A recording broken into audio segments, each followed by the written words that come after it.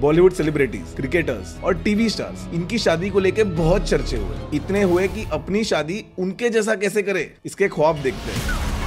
This so-called private affair is a potential gold mine, drawing hundreds of photographers. कि क्या विराट कोहली और अनुष्का शर्मा आखिरकार शादी कर रहे हैं। ढोल डांस एंड द ग्लैमर को शूट रणबीर कपूर आर्या भट्ट आज देंगे सात फेरे। इंडिया के बिग फैट वेडिंग्स में ऐसे तीन इश्यूज़ और उनके सोल्यूशंस मुझे आपके साथ डिस्कस करना ज़रूरी लगता है। Are today's marriages a celebration और a financial burden let's decode number one unregulated loans आज इंडिया में एक एवरेज शादी पर हम 20 से 25 लाख खर्च कर देते हैं। इसको कॉन्टेक्चुअलाइज करूँ तो आज इंडिया के टीयर वन या टीयर टू सिटी में एक आम आदमी की एवरेज सैलरी तीन से साढ़े तीन लाख रुपए है। इसका मतलब लोग अपनी 10 साल की अर्निंग तीन से चार दिन के इवेंट पर उड़ा देते हैं। एक मिडिल क्लास आदमी अपने शादी के खर्चों को पूरा करने के लिए लोन लेता है। कोई क्रेडिट हिस्ट्री या स्टेबल इनकम ना होने के कारण कुछ फैमिलीज़ को इन लोन्स का बेनिफिट नहीं मिल पाता। ऐसे सिचुएशंस में innocent parents turn themselves to the unlicensed and unregulated money lenders ऐसे बड़े माफिया अपने हिसाब से इंटरेस्ट मांगते हैं और पैसा टाइम पे ना देने पर ये अपने पेरेंट्स को एक्सप्लॉइट करते हैं। Families in the interior parts of India have lost their lands and parents are harassed to a point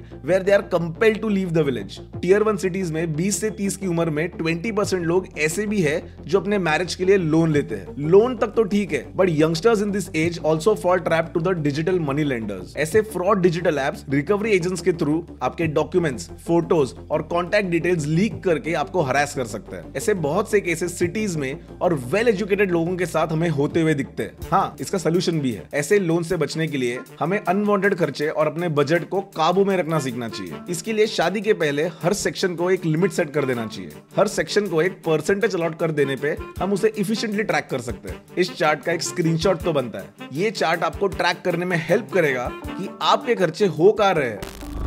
second issue है डाउरी सिस्टम दिल्ली में 26 साल की सुनीता, जो कि एक टीचर है, उसकी शादी 28 साल के रमेश के साथ होती है। सुनीता के माता पिता ने 15 से 20 लाख काफ़ी जुगाड़ करके अपने बेटी की शादी के लिए जमा किए। इन पैसों से उन्होंने फ्रिज फर्नीचर ज्वेलरी और ऐसे काफ़ी चीज़ें अपने बेटी को दे दिए। अब तक तो आपको मालूम पड़ ही गया होगा कि ये क्यों दिए। एक पॉइंट आया जब उन्होंने अपने सारे सेविंग्स और बैंक से लिए हुए लोन को एग्जॉस्ट कर दिया। शादी के पाँच साल बाद भी सुनीता के फैमिली का फाइनेंशियल बर्डन कम नहीं हुआ। शरण तो इस बात की है कि आज भी 90 परसेंट फैमिलीज़ में डाउरी सिस्टम एग्जिस्टिंग है। बल्कि बहुत सारे फैमिलीज़ खुद को प्रोग्रेसिव दिखाने के चलते डाउरी को गिफ्ट के नाम पे फ्रेम करते हैं। 1960 से लेकर 2023 तक डाउरी सिस्टम पर रोक नहीं लगा पाए हम।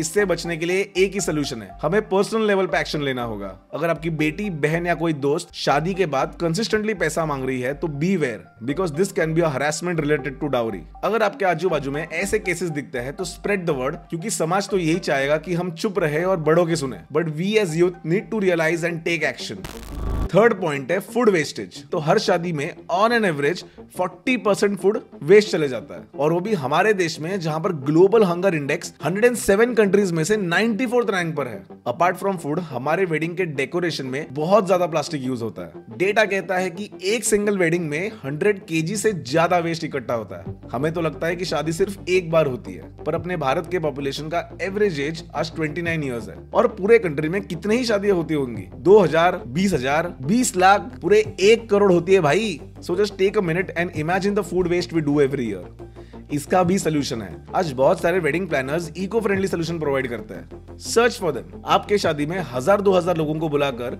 एक शक्ति प्रयोजन करने से अच्छा है कि ऑप्टिमम लोगों को बुलाए। ऐसे फ्रेंड्स और रिलेटिव्स जो आपकी परवाह करते हो। इससे अनवांटेड गेस्ट नहीं आते और फ़ूड वेस्टेज भी कम हो जाता है। I don't wish to take away India's world-renowned tradition, its extravagance, grandeur and bigger than life celebrations. और मैं ये भी मानता हूँ कि वेडिंग इंडस्ट्री ने काफ़ी केटरर्स मेकअप आर्टिस्ट डेकोरेटर्स और प्लानर्स को एक अपॉर्चुनिटी दी है। बस मैं ये कहना चाहता हूँ कि it's high time that we take sustainable decision yes it is once in lifetime opportunity and we should enjoy it अगर आपको मेरा काम पसंद आया तो फॉलो करने मत भूलना। This will motivate me to make more such videos and come up with great content शुक्रिया।